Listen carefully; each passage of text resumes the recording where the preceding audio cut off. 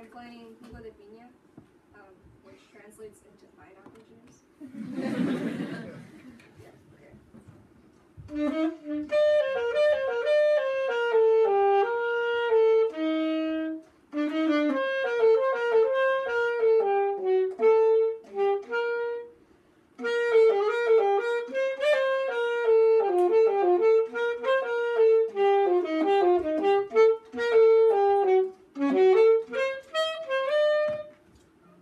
Just the first part, and continuing on to that, there's a second part and there's stops, but I'm not going to repeat it, I'm just going to go through the second part.